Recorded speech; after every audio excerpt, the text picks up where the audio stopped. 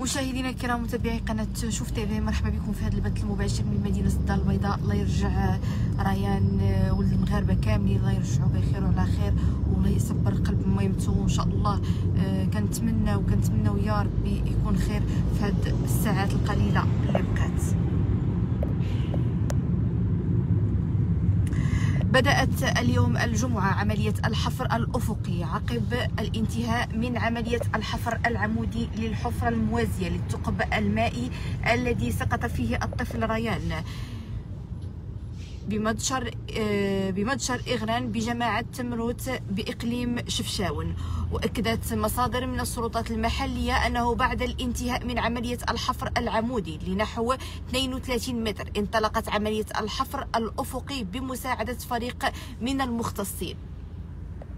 وأشار ذات المصدر إلا أن فريقا ضم مهندسين توبوغرافيين ومختصين من الوقاية المدنية. أجروا دراسة تقنية ميدانية على مستوى الموقع الذي يحيط بالثقب المائي المعني ووضعية التربة للتأكد من صلابتها حتى لا تعيق عملية الولوج في الحفرة الأفقية. وأضاف أنه جرى أيضا إعداد فريق الإنقاذ الذي سيلج الفجوة الأفقية وتحديد نقطة بدء أشغال الحفرة الأفقية.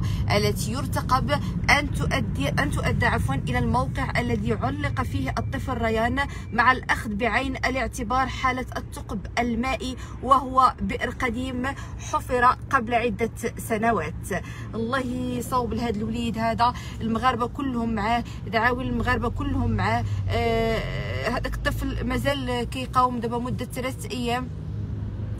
كيف ما كتشوفوا دار واحد الضجة على مواقع التواصل الاجتماعي فكنتمناو يا ربي يا ربي يفرجها عليه ويفرجها على العائله ديالو. وحنا معاك ريان غنعاود بالنسبة للناس يلا التحقوا بنا عن مباشر آه، بدأت اليوم الجمعة عملية الحفر الأفقي عقب الانتهاء من عملية الحفر العمودي للحفرة الموازية للثقب المائي الذي سقط فيه الطفل ريان بمدشر إغران بجماعة تمروت بإقليم شفشاون وأكدت مصادر من السلطات المحلية أنه بعد الانتهاء الانتهاء من عملية الحفر العمودي. لنحو 32 متر انطلقت عملية الحفر الأفقي بمساعدة فريق من المختصين.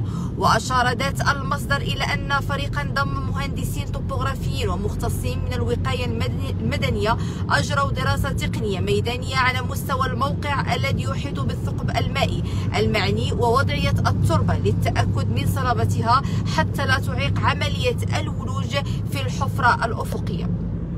وأضاف أنه جرى أيضا إعداد فريق الإنقاذ الذي سيلج الفجوة الأفقية وتحديد نقطة بدء أشغال الحفرة الأفقية الذي يرتقب أن تؤدى أن تؤدي إلى الموقع الذي علق به الطفل ريان مع الأخذ بعين الاعتبار حالة الثقب المائي وهو بئر قديم حفر قبل عدة سنوات.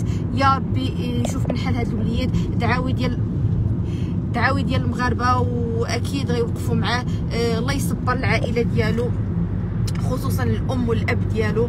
آه كنتمناو يا ربي آه يبقى ريان آه كيقاوم هذا الطفل البريء اللي دخل آه قلوب المغاربة ودخل بيوت المغاربة وكل شيء تعاطف معاه سواء في المغرب أو خارج.